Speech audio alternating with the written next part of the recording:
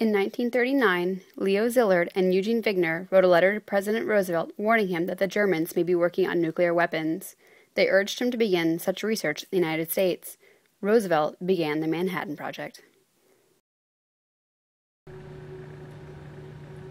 Okay, before we build an atomic bomb, we need to get a critical amount of uranium to sustain a chain reaction to prove this whole concept is feasible.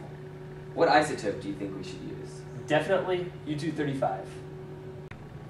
Okay, we'll need to enrich some uranium so there's enough U-235 in it, and then we can make pellets out of it. But the neutrons might be too fast to sustain a chain reaction.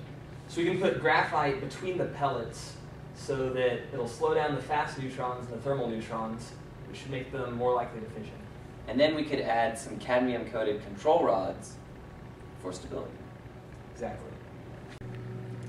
So what should we call this contraption that undergoes a nuclear reaction? Well, it reacts. So, a nuclear reactor. That's a terrible idea.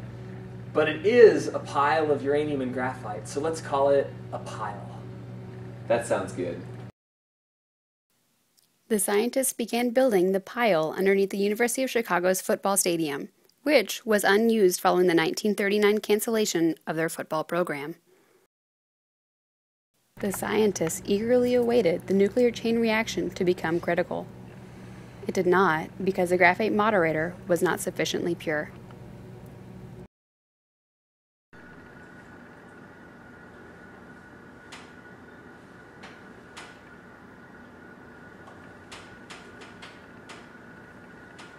Powering on in five, four, three, two, one.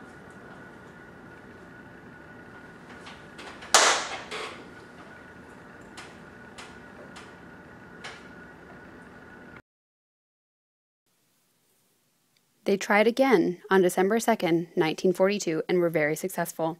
The Chicago Pile 1 reactor became critical the physicists were ecstatic and immediately reported the news to Washington using a coded language.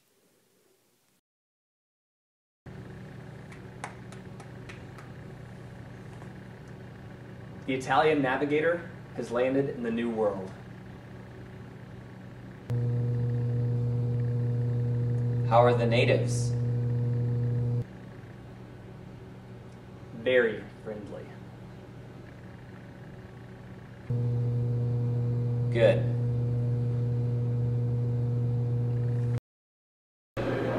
This bass drum, Big Bertha, was stored under the University of Chicago Stadium during the Manhattan Project when the Chicago Pile 1 reactor came online.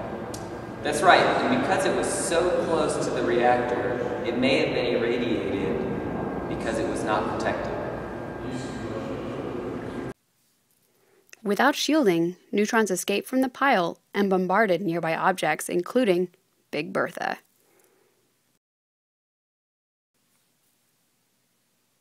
The lead paint coating the drum may have absorbed enough neutrons to make it radioactive, potentially causing it to emit particles of its own. In 1955, the University of Texas Longhorn Band purchased the drum for $1 and some of the band members actually scraped the paint off as a precautionary measure.